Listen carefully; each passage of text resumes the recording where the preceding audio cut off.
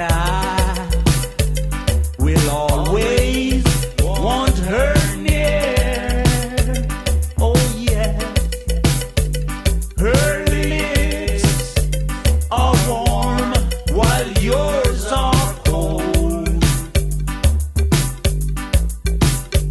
Really